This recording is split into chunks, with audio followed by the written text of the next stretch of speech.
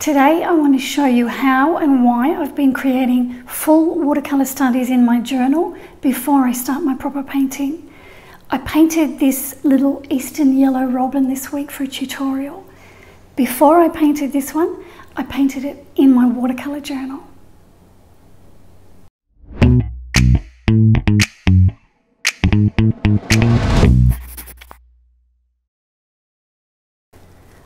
Big on New Year resolutions, probably because I make them and I never keep them. But this year I resolved to work smarter, not harder. And one of the ways I decided to do that was to start painting more watercolour studies. Now, when I say watercolour studies, I don't mean a quick thumbnail sketch to work out the composition or a painting that I can paint really quickly. I mean a full painting in my journal.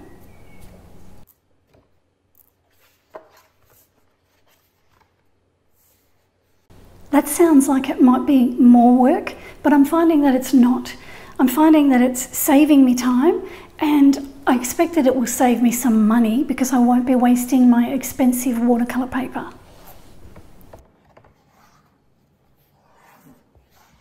Watercolour always surprises me. I start painting and I'm never sure how the final painting will turn out. We can't hide our mistakes when we paint in watercolour because the paint is simply too transparent. So for me, there's always a level of anxiety when I first start a painting. I find I'm anxious because I don't want to fail, but I'm also anxious because good quality watercolour paper is expensive and I don't want to waste it on failed paintings if I can help it. By painting a study in my journal before I start the painting, I can iron out most of the wrinkles that are likely to occur.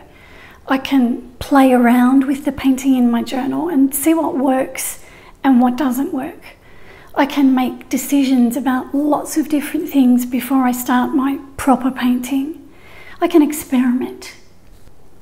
Experimenting in the journal lowers those levels of anxiety, and I find that I can begin painting with a much calmer approach. So I'm doing everything I can to set myself up for success. I drew the robin in my journal. This is a Winsor & Newton watercolour journal. At this point I wasn't sure whether I was going to paint the feet in and the branch, so I didn't draw them in at this stage. So once I got my drawing right, then I started to paint in the grey feathers. And this allowed me to work out whether I was going to paint the feathers in individually or whether I was going to paint them all as a whole. So I decided to wash them in all at once. And then while that was wet, I dropped in another colour just to make the grey more interesting. I find that this first wash is always the freshest and most vibrant, so I want to make sure that I get it right.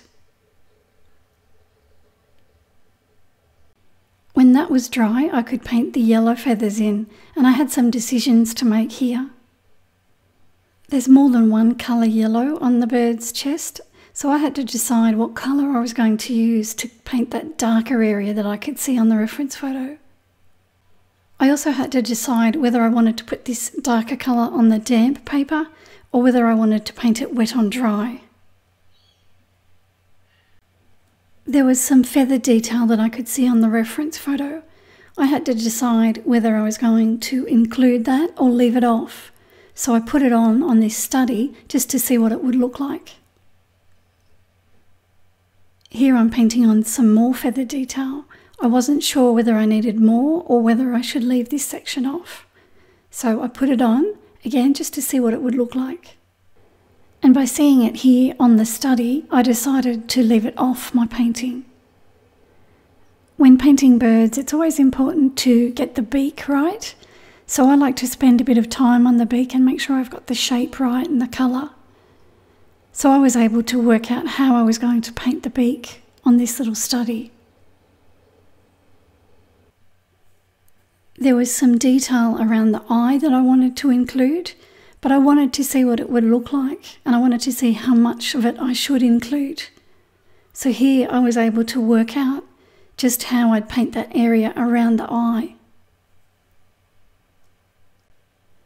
So, this allowed me to determine just how much information I needed to give.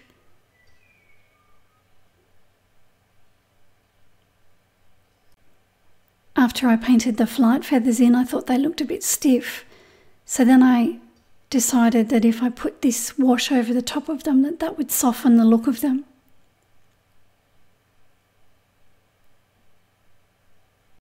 So then I got down to the feet and the legs and I was thinking at this point that I would leave the feet off, that I'd just paint the legs in, and then just leave a suggestion of some feet.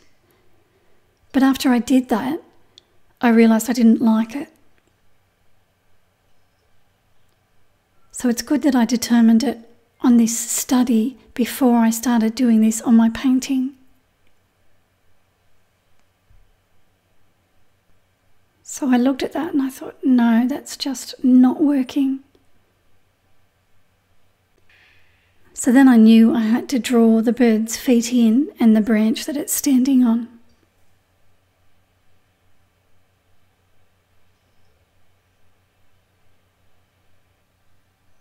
And I went ahead and painted it, and I was able to work out the colours that I was going to use and how I was going to paint it. Sometimes the feet can be a bit tricky, and I don't want to put too much detail on the feet.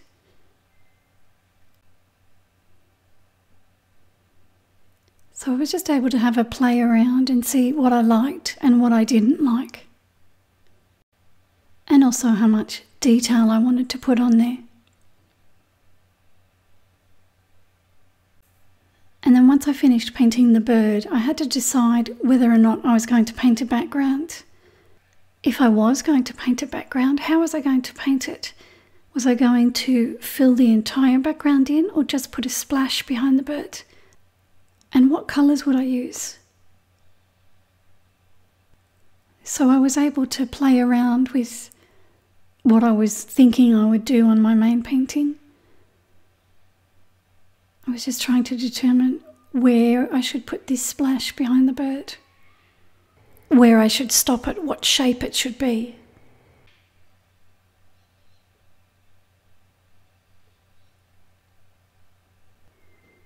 So I was able to determine quite a few different things from this little painting that I did in my journal. This painting in the journal allowed me to see that the back leg was too long. I needed to make sure that I didn't do that on the main painting. The feet, I wasn't sure whether to paint them in or not. So the painting in the journal meant that I was able to make a decision on that. The branch was tapering at the top and I need to watch that I don't do that on the main painting. And I was able to make decisions about the background by painting it in the journal first. All of these things I could work out before I put my brush to the paper and I was able to paint this painting with ease. I was relaxed when I painted it and I painted it quickly with minimal fuss. I did the same thing with this koala painting here. I painted it in my journal first, and when I came to paint the larger painting, I painted it with ease as well. It made the process of painting so much more enjoyable. This painting is the subject of my next Skillshare class, and Skillshare are kindly sponsoring this video. I've been working with Skillshare for a few years now, and I really appreciate their support. I've published 10 classes now and I'm currently working on this 11th one. Skillshare is an online learning community with thousands of classes. There is so much to explore and there are real projects that you can create. Topics include illustration, design, photography, video, freelancing and more. Skillshare is also affordable when compared to expensive face-to-face -face classes and workshops. An annual subscription is less than $10 US a month. I'm currently enjoying this class by Sorelle Amore. It's called YouTube Success Build an Authentic Channel That's Worth the Follow. Sorelle is a YouTuber, photographer, and videographer.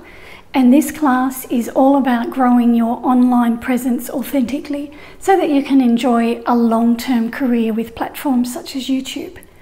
She talks about the importance of finding your niche and being authentic, and she takes you behind the scenes of her own work.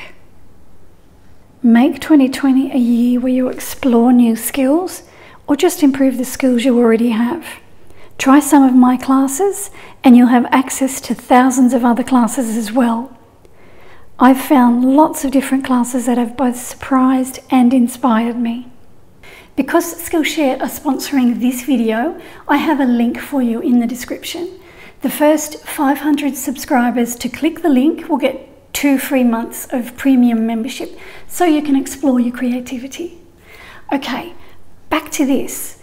As I said, I painted this painting for my next Skillshare class and I want to give you a quick look at the study that I painted in my journal. With this study in my journal, I could work out the colours I was going to use. I could work out the technique I was going to use to paint the fur. I decided to use a wet on wet technique for most of this painting. It also helped me to decide what to leave off and what to put on, what was important, what wasn't. I wasn't sure whether to use the same colours as the koala on the branch or whether I should go for warmer colours. So this allowed me to try out the warmer colours and see what they look like. Although it takes time to paint a small study, I find that time isn't wasted. So I highly recommend painting a study of the painting before you paint the proper painting, particularly if you're not feeling confident. For me, it takes away most of the anxiety that can sometimes creep in whenever I start a new painting. And I don't want that anxiety to hinder my creativity. Okay, thank you. I hope you enjoyed this video. If you did, give it a like and make sure you hit the subscribe button because I post videos like this one every week. I'll see you soon. Painting in the journal allowed me to see that the black, the black leg, this allowed me to see that the black leg was too long. To make sure that I didn't do that on the main painting. Didn't, didn't, say didn't, Louise. Didn't, didn't.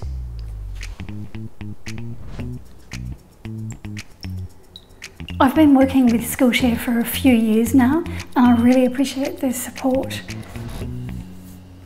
Motorbike. So if you want to make 2020 a year where you explore new skills, now I can't say skills. For me, it takes away most of the anxiety. I can't say anxiety now